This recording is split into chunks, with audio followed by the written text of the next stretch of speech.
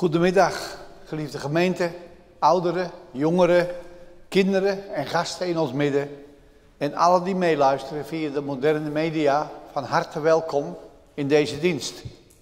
In deze dienst gaat voor dominee Velema. En de schriftlezing is vanmiddag uit Handelingen 18, van vers 1 tot 17 en van vers 24 tot 28. Het thema van de dienst is Aquila en Priscilla. De collecten. Collecten vandaag zijn voor de kerk en de kerkelijke kassen.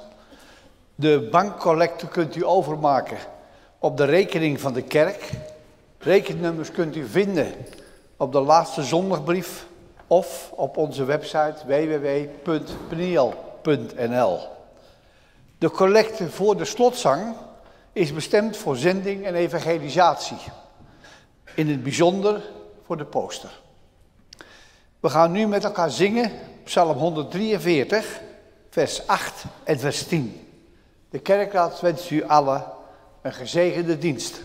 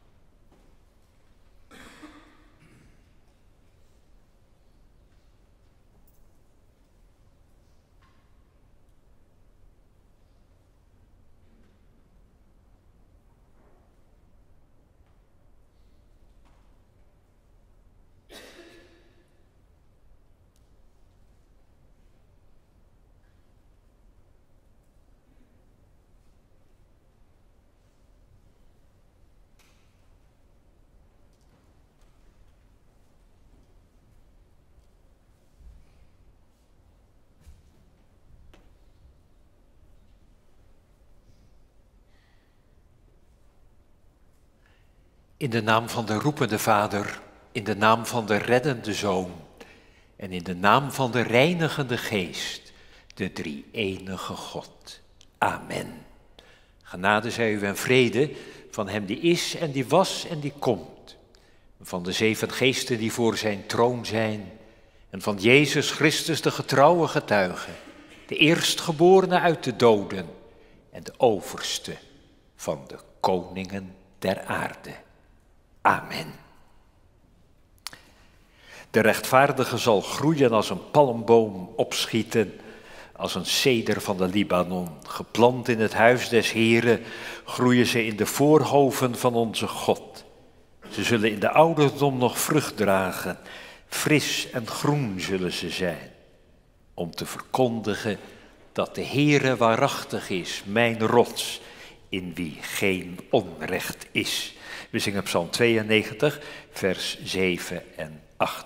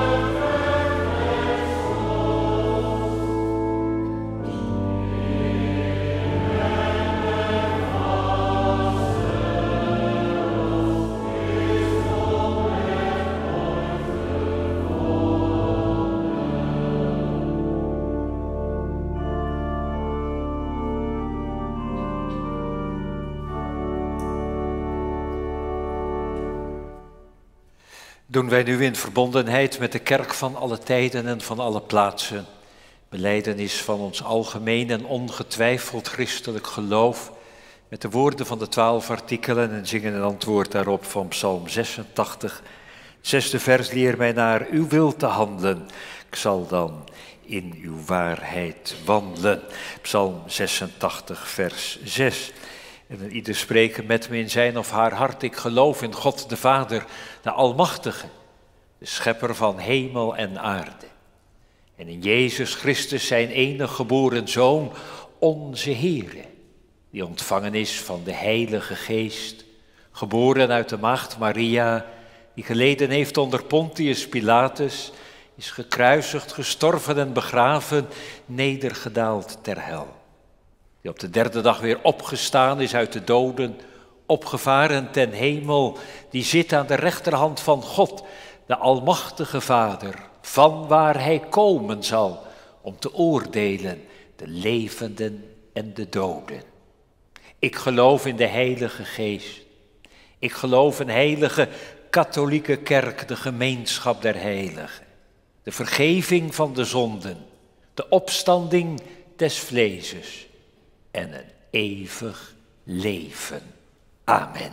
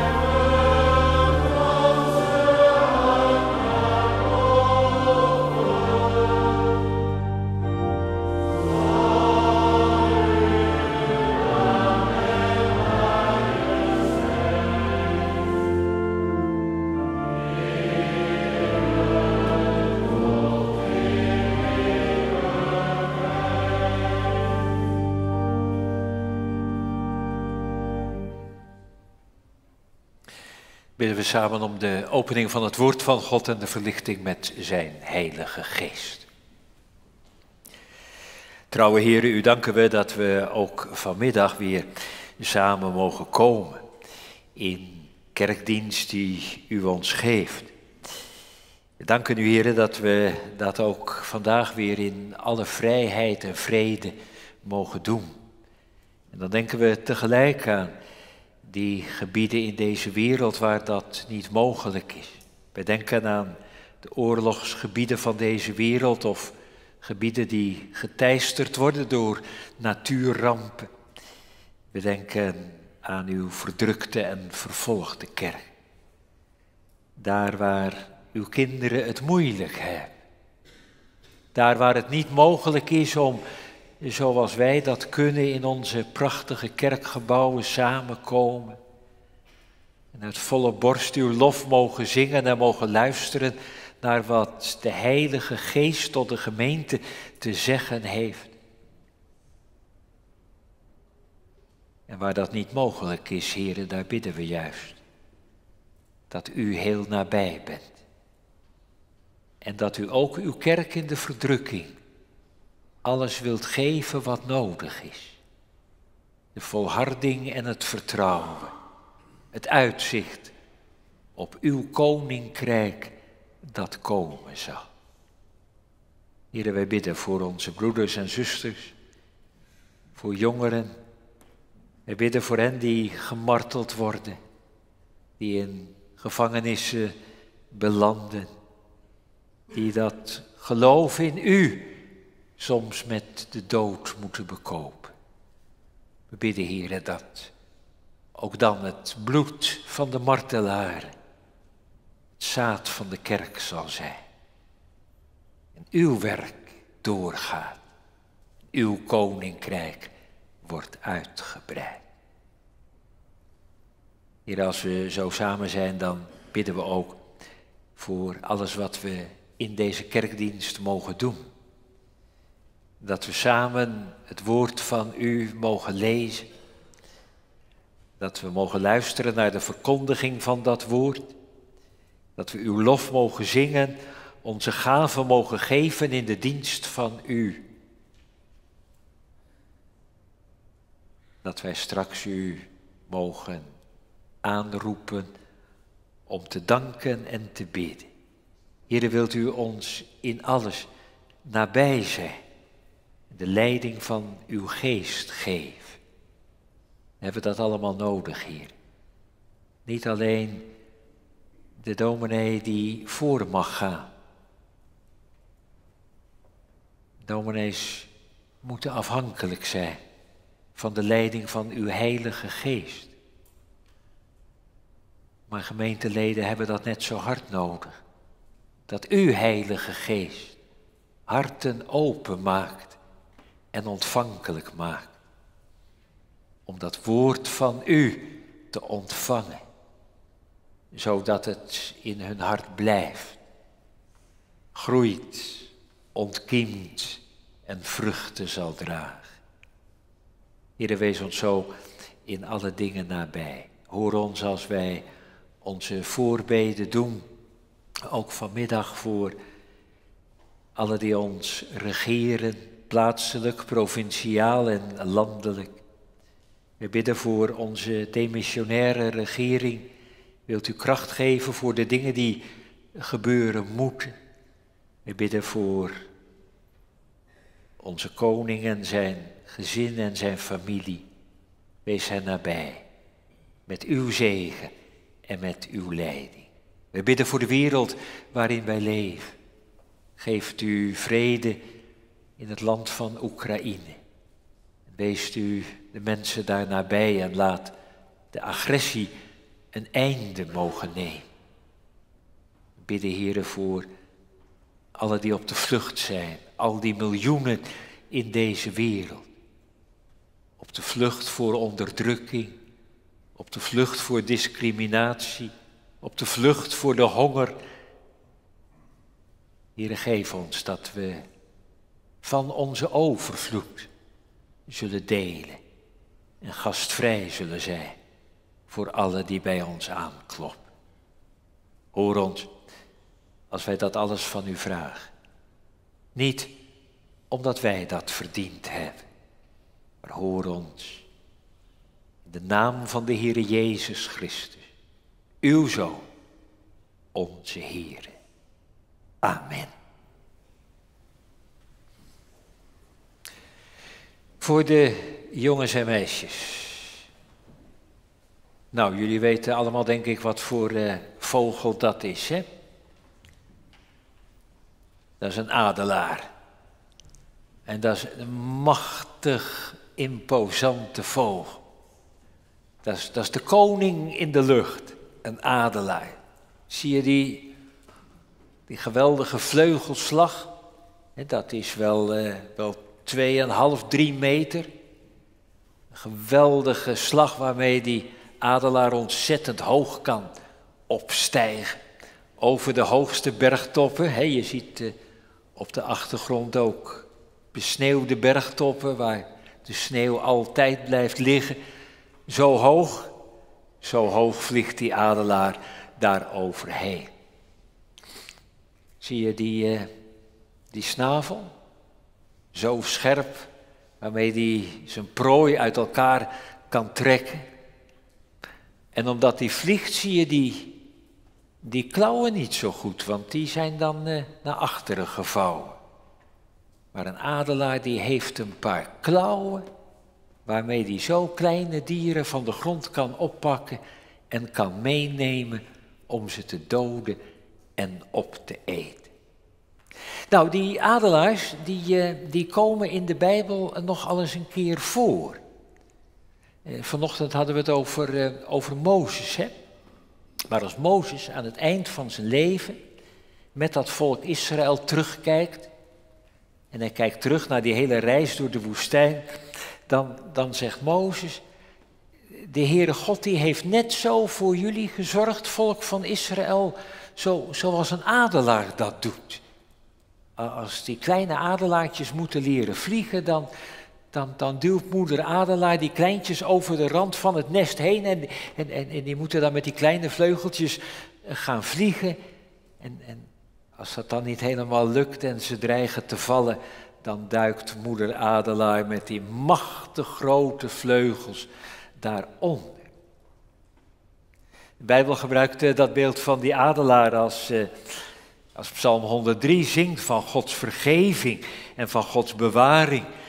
En dan zegt Psalm 103, zodat uw jeugd zich vernieuwt als die van een adelaar. Want, want die adelaar die krijgt elk jaar weer nieuwe vleugels. Die kan elk jaar als het ware weer opnieuw beginnen.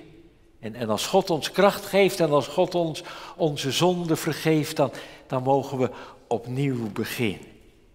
En, eh, en als Jezaja later mag profeteren, mag zeggen tegen de ballingen in Babel dat ze terug mogen keren naar Jeruzalem, dat ze op reis mogen gaan en dat ze dan mogen, mogen putten, mogen tanken zou je kunnen zeggen, uit dat onuitputtelijke reservoir van kracht, de Heere God zelf, dan is het zodat ze opvaren met vleugelen als arenden, hoog over de hoogste bergtoppen heen.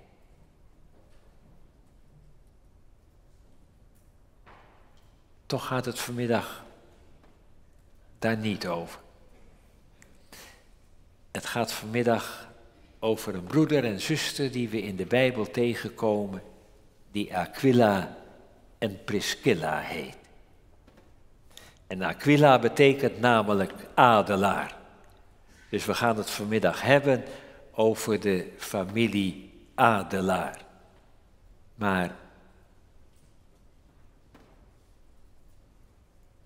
om dat aanloopje te nemen met de kinderen, daarom vanmiddag deze adelaar.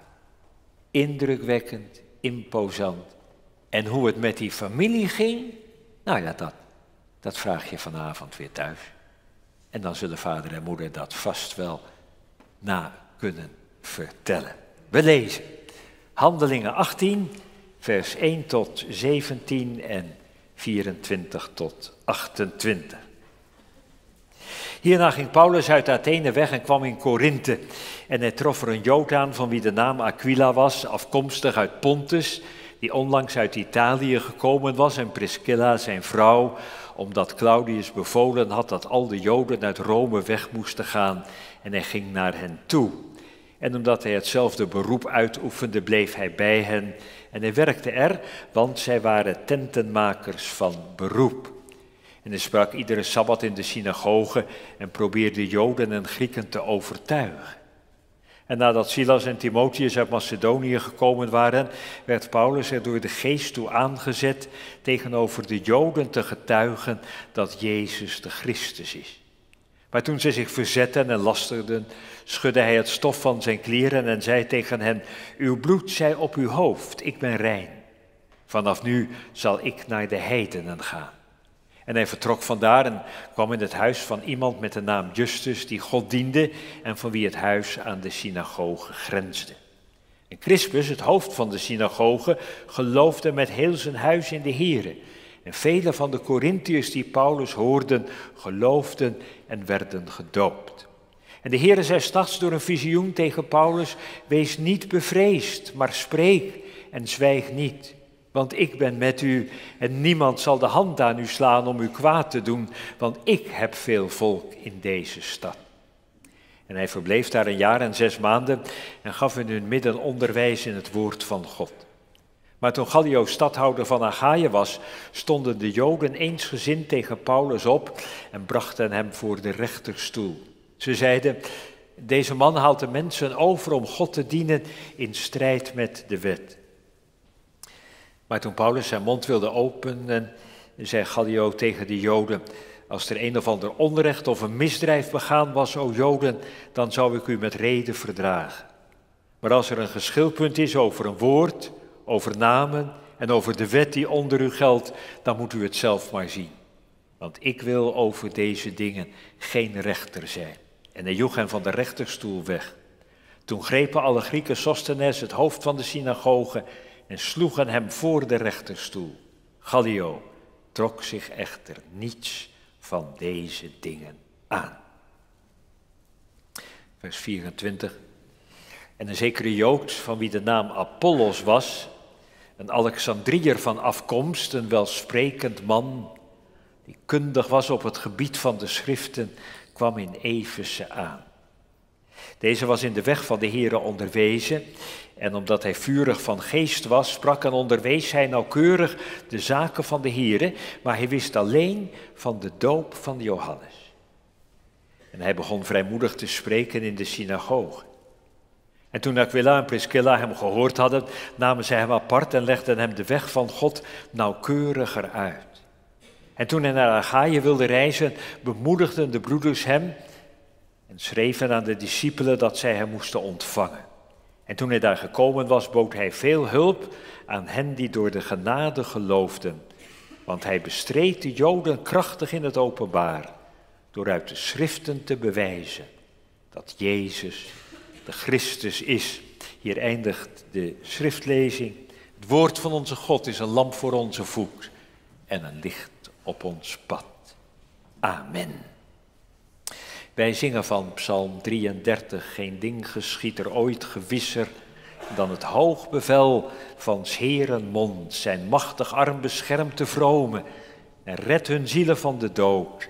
Laat ons alom zijn lof ontvouwen. In hem verblijdt zich ons gemoed. Psalm 33, vers 15 en 11.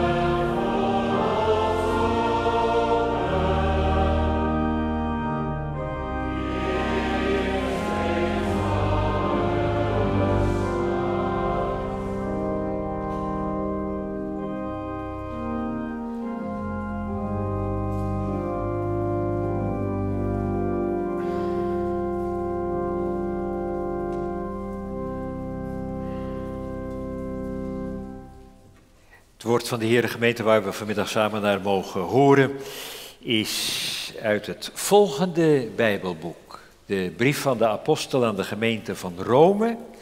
Het laatste hoofdstuk, hoofdstuk 16, de versen 3 en 4. Romeinen 16, vers 3 en 4, waar de apostel schrijft, groet Priscilla en Aquila, mijn medearbeiders in Christus Jezus. Ze hebben voor mijn leven hun hals gewaagd. Niet alleen ik ben hun dankbaar, maar ook alle gemeenten van de heidenen. Na het amen van de preek zingen we het vierde vers van Psalm 25. Psalm 25, vers 4. Broeders en zusters, jongeren, jongens en meisjes. Ja, dus het gaat vanmiddag niet over die geweldige, imposante vogels. Het gaat vanmiddag dus niet over uh, die adelaars zoals ze ook wel in de Bijbel voorkomen, zoals ik aan de kinderen verteld heb. Maar over deze broeder en zuster Aquila en Priscilla. Omdat Aquila adelaar betekent en Priscilla betekent oudje. Je vraagt je natuurlijk af waarom die ouders aan een pasgeboren kind de naam Priscilla gegeven hebben. Nou ja, dat eh, moeten we maar aan die ouders overlaten. Arend, Adelaar en Oudje. Hun namen komen we nogal eens tegen in het boek eh, van de Handelingen en in de brieven van de Apostelen. Wat we gelezen hebben in eh, Handelingen 18 Daar worden hun namen voor het eerst genoemd. En we lazen met opzet dat uh, twee gedeelten uit dat hoofdstuk, omdat ze niet alleen in het begin van dat hoofdstuk een rol spelen, maar ook aan het slot. Nou, onze tekst vanmiddag is dan uit uh, Romeinen 16, waar de apostel Priscilla en Aquila groet als eerste van die hele lijst met namen.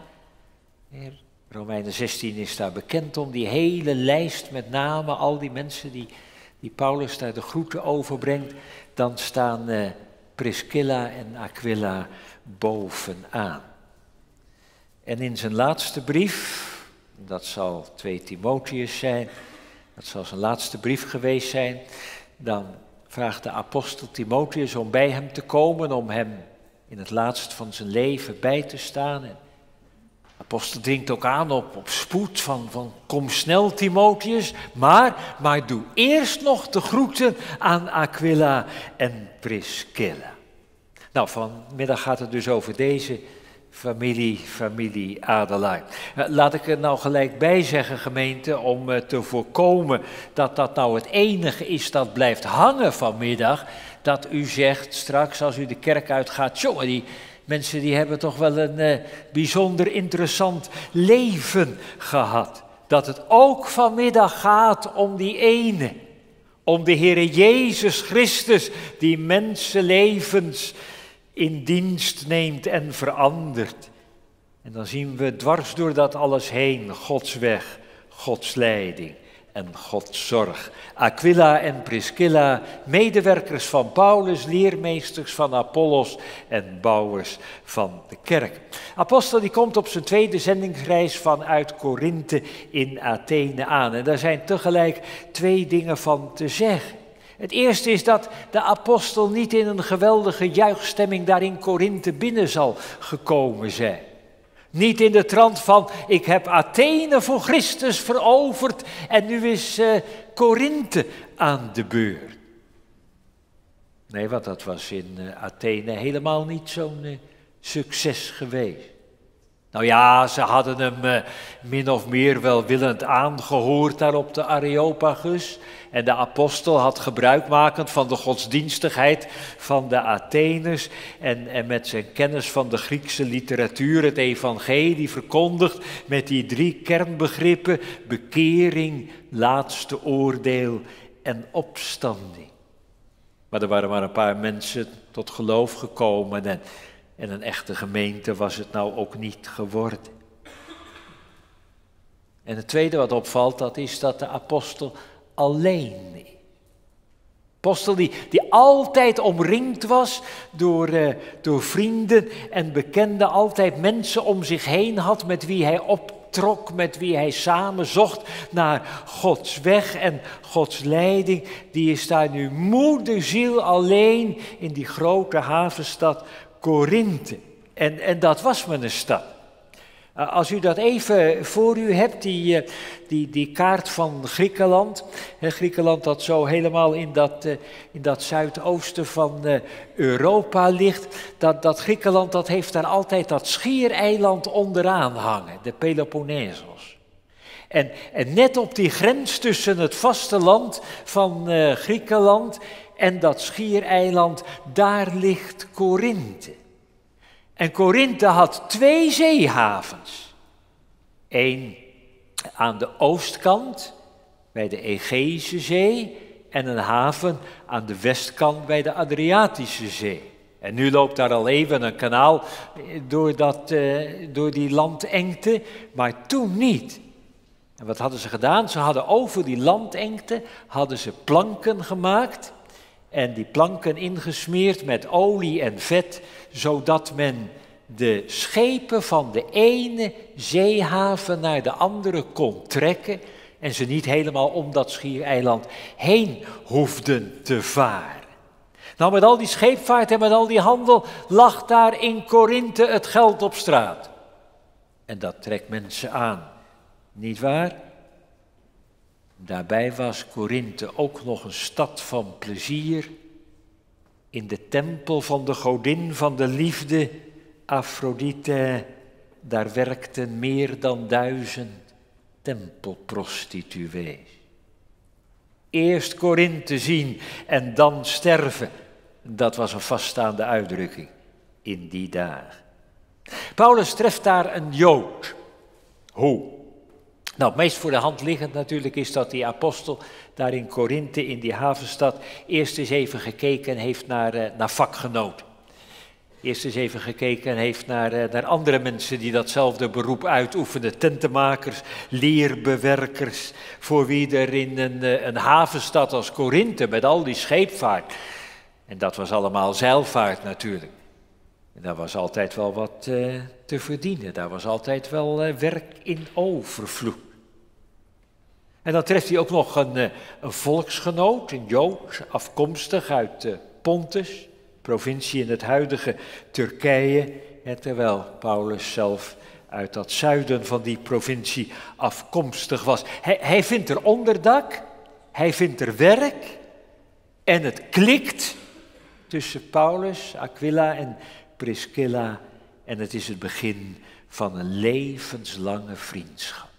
Want die Aquila en Priscilla, vertelt Lucas erbij, die waren namelijk net uit Rome gekomen omdat keizer Claudius bevolen had dat al die Joden uit Rome weg moesten. Zie je gemeente, zie je Gods bijzondere leiding, die wij dan Gods voorzienigheid noemen.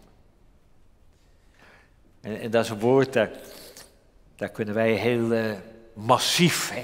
massief over spreken en, uh, en denken. God uh, weet alles van tevoren, God heeft alles van tevoren bepaald. En daar kun je dan de nodige theologische discussies over voeren.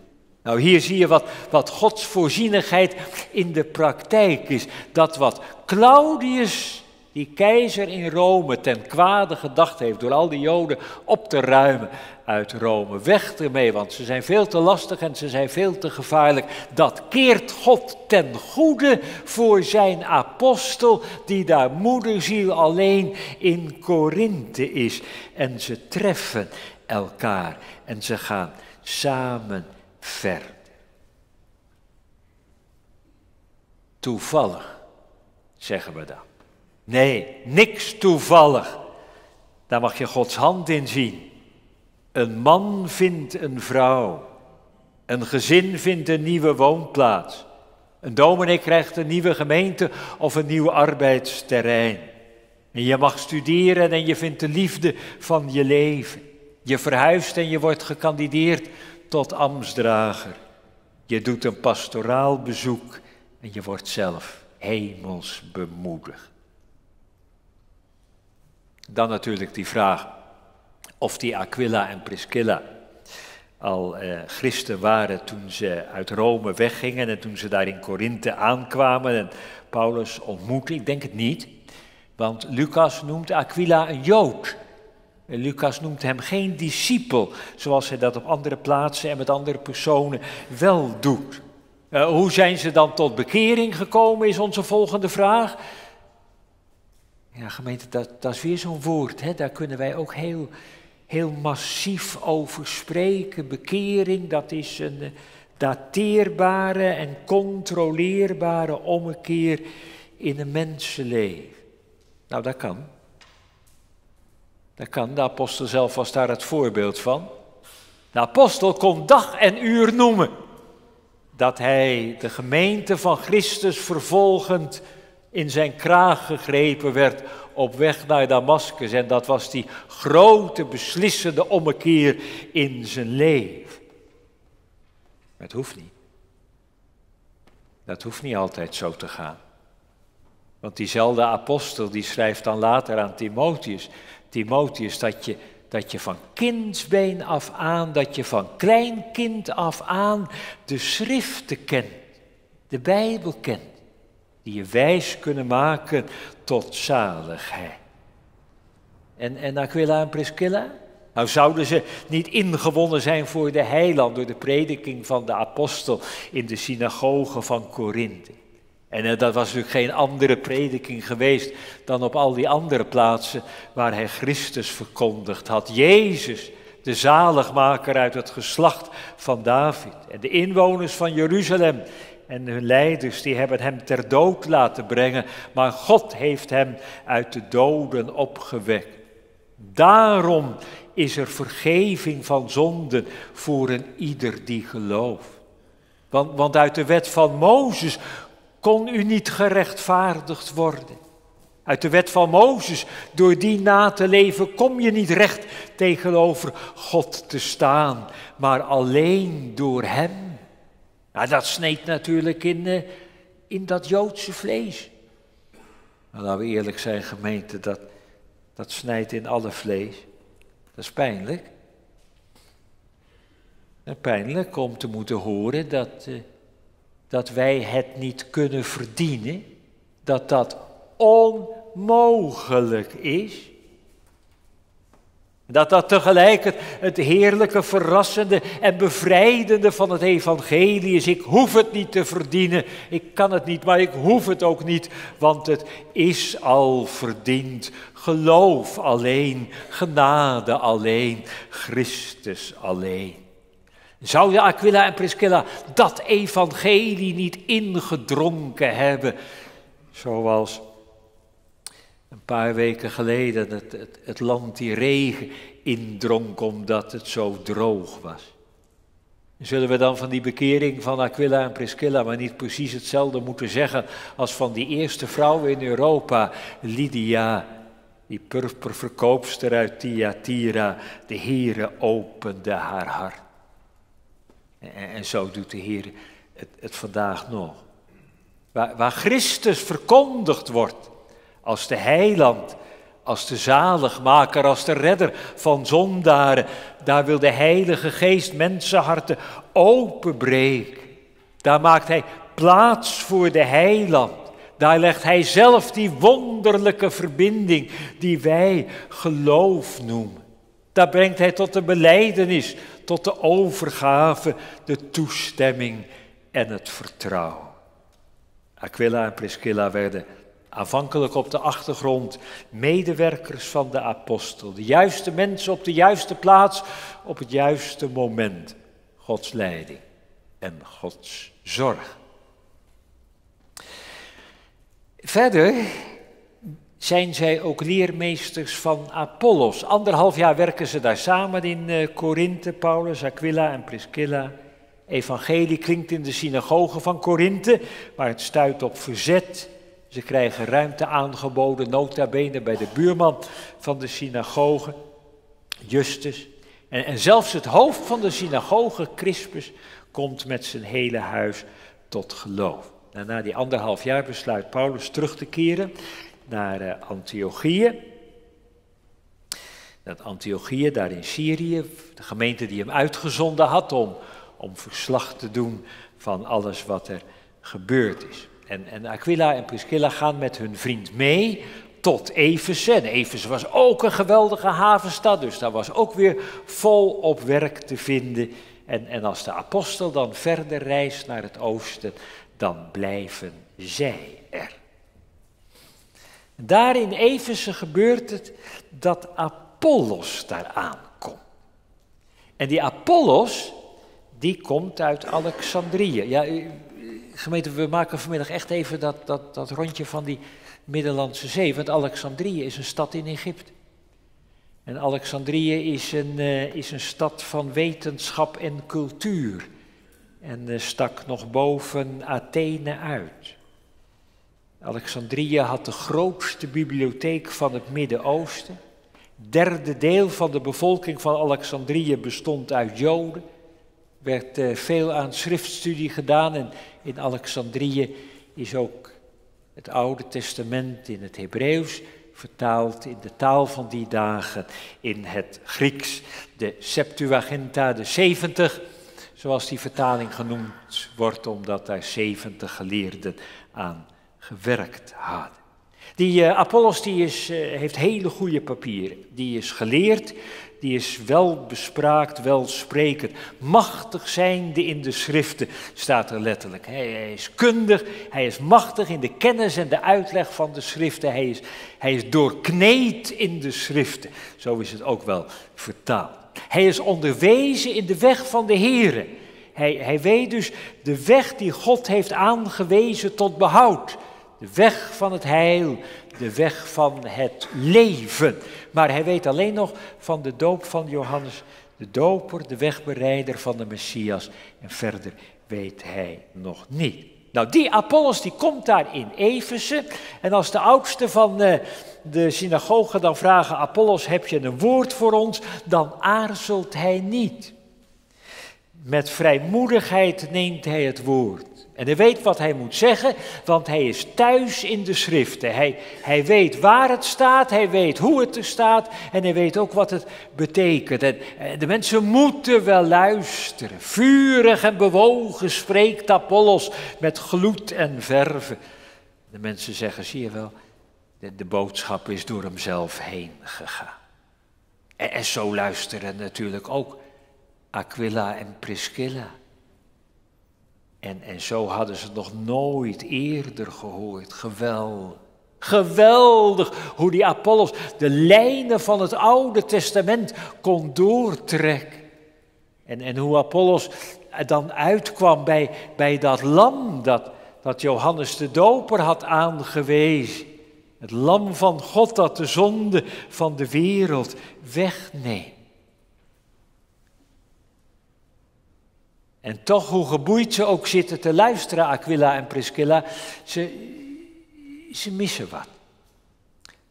Ze missen wat, want Apollos die spreekt wel over dat lam. Maar, maar Apollos vertelt niet hoe hij nou dat lam geworden is. Hoe Jezus als dat volmaakte lam geslacht is Niets over het kruis en niets over de opstanding en niets over de geest van Pinkst. Als ze dan weer buiten staan, dan zeggen Aquila en Priscilla niet tegen elkaar, dit was niks. Dit was nog helemaal niks, daar gaan we ook niet weer heen. Uh, die, die man die, uh, die, die weet echt helemaal niets van.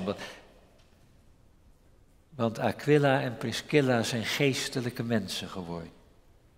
En, en geestelijke mensen zijn altijd gunnende mensen. En, en ze nodigen Apollos bij hen thuis uit. En dan zeggen ze ook niet, Apollos, wat je nou allemaal gezegd hebt, daar, daar deugt niets van. Je, je moet nog maar eens terug naar Alexandrië. Of, of beter nog, je zou nog eens een tijdje in Jeruzalem moeten gaan studeren. Nee. Aquila en Priscilla die zullen hun waardering hebben uitgesproken voor de manier waarop Apollos zo nauwkeurig de schriften heeft uitgelegd. En, en als ze dan van Apollos gehoord hebben dat hij niet meer weet dan, dan van Johannes de Doper, dan gaan zij verder.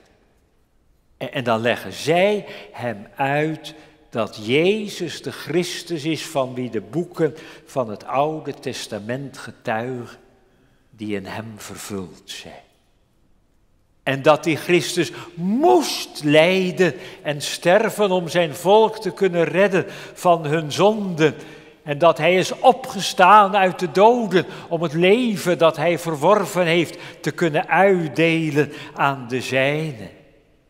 En dat die Heere Jezus Christus op de dag van zijn hemelvaart met zijn eigen werk de hemel is binnengegaan. En dat Hij in de hemel is om als koning zijn kerk te bewaren en te beschermen en de wereldgeschiedenis naar het einde te sturen. Om als priester te pleiten op grond van zijn eigen werk. En om als profeet door zijn woord en geest zijn kerk te onderwijzen. En Aquila en Priscilla die leggen Apollos uit wie de Heilige Geest is. Dat, dat die geest van de Vader en van de Zoon is uitgegaan en dat die geest gekomen is om Christus te verheerlijken. Letterlijk tot Here te maken in mensenlevens. En, en dat die geest leidt in alle waarheid. Dat die geest de dingen van God open doet voor mensenkinderen en ze weet toe te passen. Dat die geest gekomen is om, om te troosten en te vermanen. En dat die geest dat doet gebruikmakend van zijn eigen woord. Jongens en meisjes, zie het voor je. Zie het daar voor je in die, in die eenvoudige werkplaats van Aquila en Priscilla, waar ze, waar ze de hele dag met die, met die zeilen bezig waren om die weer te repareren en aan elkaar te naaien. Daar zit die, daar zit die hele geleerde man uit, uh, uit Alexandrië. En die luistert. En die luistert naar wat die eenvoudige gemeenteleden hem kunnen leren, wat hij zelf niet wist. Die Aquila en Priscilla, die nog maar een paar jaar geleden het evangelie van Paulus gehoord hebben, die mogen het nou zelf doorgeven als een vader en moeder in de genade. Over geestelijke groei gesproken. Het begon met afhankelijk en aanhankelijk horen en dienen. En het eindigt met zelfstandig en mondig optreden. Moet ik de lijnen doortrekken naar ons eigen leven? Ja, ja. En dan, dan is de eerste vraag natuurlijk vanmiddag gemeente of je zelf het evangelie hebt leren kennen. Of dat evangelie door je heen gegaan. Het kan toch niet dat je jaar in jaar uit in de kerk zit waar Christus verkondigd wordt. En dat het in je leven allemaal even doods en even kleurloos en geestloos blijft. Kan toch niet? En als je dan dat evangelie hebt leren kennen, of je daar ook in, in gegroeid bent, gegroeid in de kennis en de genade van de Heer Jezus Christus. Want denk erom, stilstand, dat is achteruitgang. En, en of je dan ook anderen kan, kan onderwijzen. Nou, dan zeggen u natuurlijk niet zulke grote stappen, dominee, want dat is, uh, dat is ook niet voor iedereen weggelegd. Nee, dat, dat is ook niet, dat is ook zo, maar dat begint heel dicht bij huis. Dat, dat begint bij je eigen kinderen en je eigen kleinkinderen. Wat, wat een zegen. Jongens en meisjes in de kerk, als je een vader en een moeder, als je een opa en een oma hebt, die, die je bij de hand kunnen nemen en die je kunnen vertellen wie de Heer Jezus voor hen is. En wat een zegen als er in de gemeente broeders en zusters zijn van wie de ambtsdragers en ook de dominee nog wat kan leren. Zodat je daar later als dominee met dankbaarheid aan terug mag denken. Aquila en Priscilla, medewerkers van Paulus, leermeesters van Apollos. En we bidden, Heer, geef ons vandaag zulke gemeenteleden door wie uw kerk gebouwd wordt. Want dat is dan het laatste vanmiddag. Ze zijn ook bouwers van de kerk. Dat wordt duidelijk uit drie dingen die de apostel aan de verschillende gemeenten schrijft. Eerste is wat hij schrijft aan de gemeente van Korinthe. Aan het, aan het eind van wat wij 1 Korinthe noemen, daar moet Paulus de hartelijke groeten van Aquila en Priscilla overbrengen. Nou, dat is natuurlijk logisch, want, eh, want die mensen waren natuurlijk genoeg bekend daar in de gemeente van Korinthe. Maar dan staat er nog wat bij. De hartelijke groeten van Aquila en Priscilla en de gemeente in hun huis. Dat, dat, is dus de gemeente van Efeze, of, of misschien is dat een, een, een, deel geweest van de gemeente van Efeze, dat in het huis van Aquila en Priscilla samenkomt. Een zogenaamde huisgemeente, zoals er in de eerste tijd van uh, het christendom er vele geweest zijn, zoals ze er vandaag in China zijn en zoals er misschien in ons land nog wel meer zullen komen wanneer de plaatselijke gemeente kleiner wordt. Hun huis stond dus open voor broeders en zusters om er samen te luisteren, te studeren, de gemeenschap der heiligen te beoefenen. En, en bij die aantekening kunnen we onszelf meteen afvragen, staat mijn huis, staat ons huis open voor gemeenteleden en voor anderen als teken van die bijbelse gastvrijheid. Tweede wat we dan lezen is uh, Romeinen 16, hè, die hele lijst met groeten. Daar worden Aquila en Priscilla als eerste genoemd. Ze hangen er dus ook niet bij aan. Nee. Eh, ze staan bovenaan en de apostel noemt ze hun medearbeiders in Christus Jezus. Zijn ze om hun handwerk weer teruggekeerd naar Rome of zijn ze in verband met de voortgang van het evangelie naar Rome gegaan om daar mee te helpen aan de opbouw van de gemeente? Wij weten het niet, hoeft ook niet, het is niet onmogelijk, maar het, het, het hoeft ook niet. Let op wat Paulus eraan toevoegt. Zij hebben voor mijn leven hun hals gewaagd.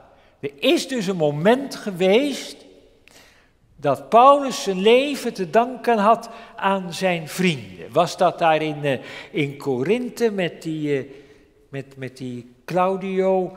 Uh, was dat soms in Efeze met die opstand van, van die zilversmid van Demetrius? We weten het niet. Maar we weten wel dat de apostel hen daar heel dankbaar voor is. En dat de gemeente in Rome dat ook best mag weten. En, en het derde is dan die toevoeging van vers 4. Ik ben hun dankbaar, maar ook, maar ook alle gemeenten van de heidenen. Dat, dat is nogal wat, hè? Dat is nogal wat, dat, dat de apostel daar aan die gemeente in Rome schrijft. Die zegt, moet je horen, eh, die Aquila en eh, Priscilla, die hebben een geweldige naam in, in al die gemeenten daar aan de noordkant van de Middellandse Zee. Want ze hebben allemaal gehoord van die opofferende liefde van Aquila en Priscilla voor Paulus. En, en ieder en al die gemeenten noemen dat Joodse echtpaar met dankbaarheid.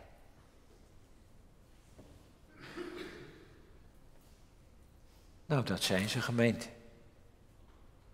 De familie Adelaar. Aquila en Priscilla. Twee hele gewone mensen. Die in de wereld van hun dagen niet opvielen. Maar die voor de zaak van Christus en het evangelie van onschatbare waarde zijn geweest. En voor de dienaren van het evangelie een geweldige steun. De Heilige Geest houdt ons vanmiddag met deze broeder en zuster de spiegel voor. Ingewonnen voor Christus, gegroeid in de kennis van Hem, anderen bij de hand genomen, gastvrij en gebouwd aan Christus kerk.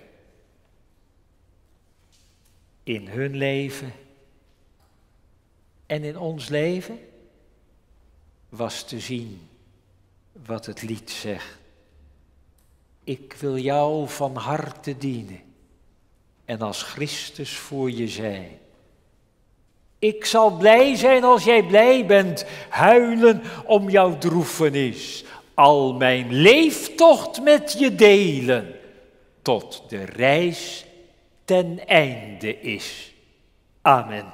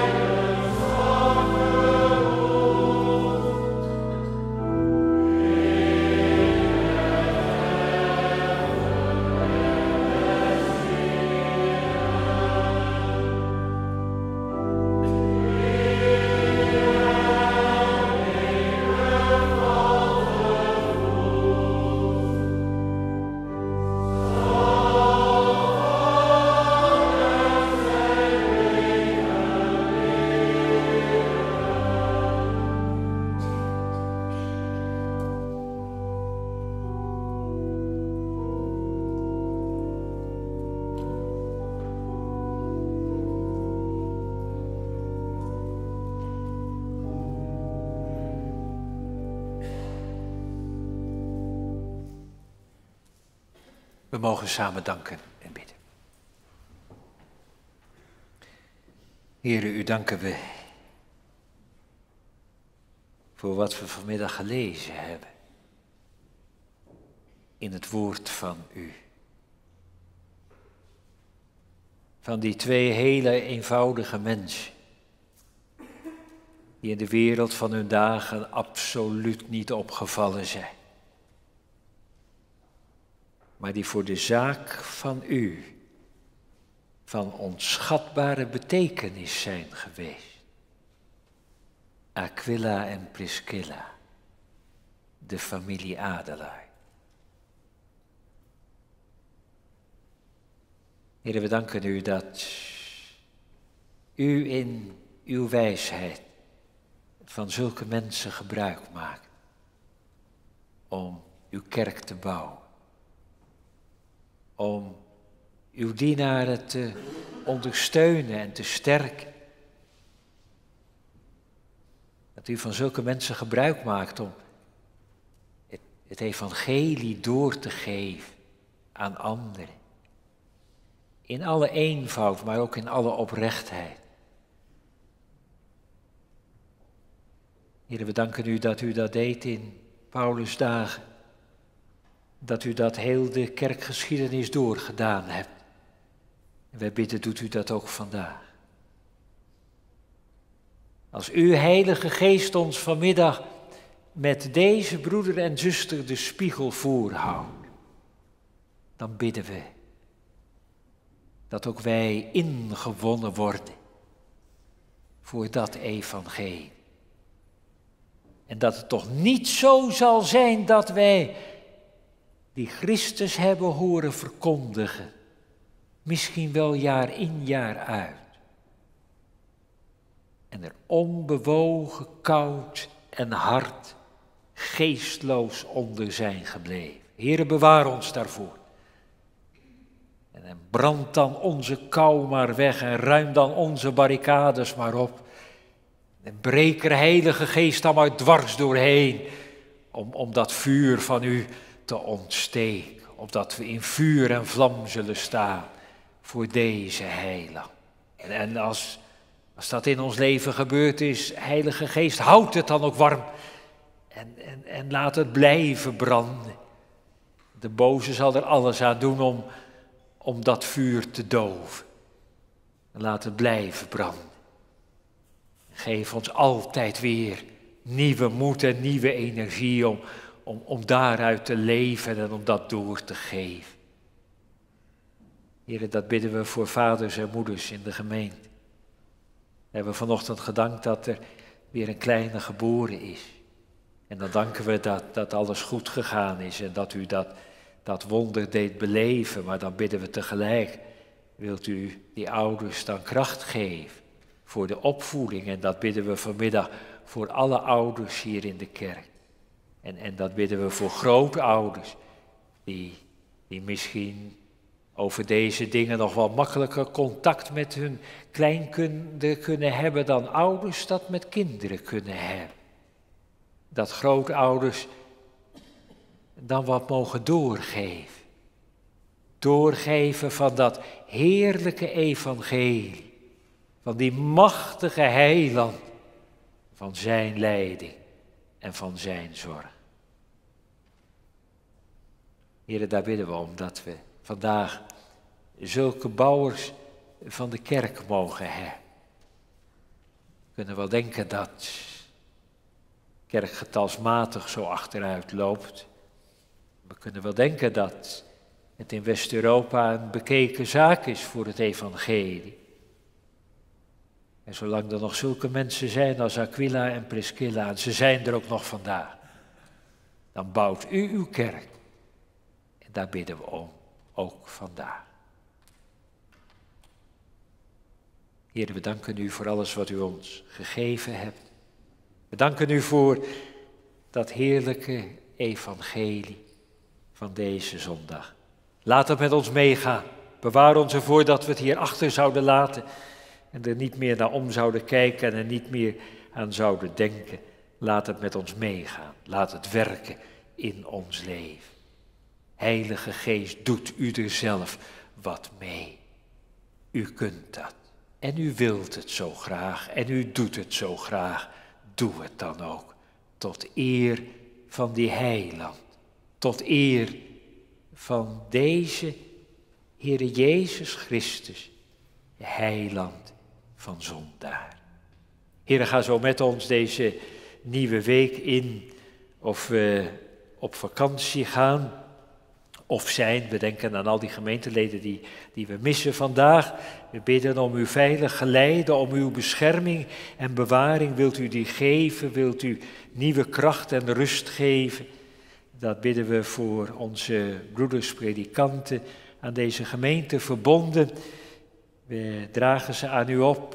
We danken u dat ook zij even afstand mogen nemen van het werk van elke dag. En we bidden dat ze elk op zijn eigen tijd weer gezond en wel en met nieuwe krachten terug mogen komen en weer verder mogen gaan met het werk in de gemeente. Zegen ook de andere predikanten aan deze gemeente verbonden in bijzondere dienst of als emeritus. Heer, neemt u ze allemaal voor uw rekening. We bidden zo voor heel uw kerk.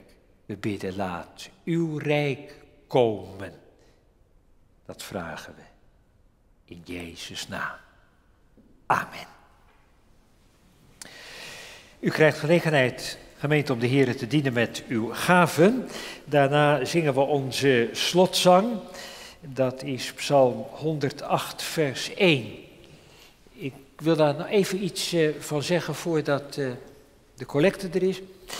Uh, dat, dat, is een psalm, psalm 108, vers 1, waar je, waar je ontzettend graag als, als dominee op zondagmorgen mee begint. Hè? Dat is het psalm om op toonhoogte te komen.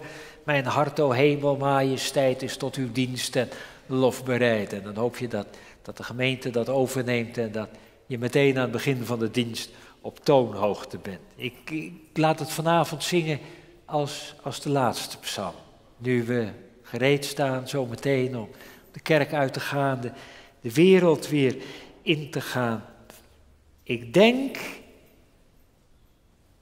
dat als Aquila en Priscilla deze psalm in deze berijming gekend zouden hebben, dat het hun lievelingslied was. Mijn hart, o hemel majesteit, is tot uw dienst en lof bereid. Laat dat ook uw lievelingslied zijn. Bye.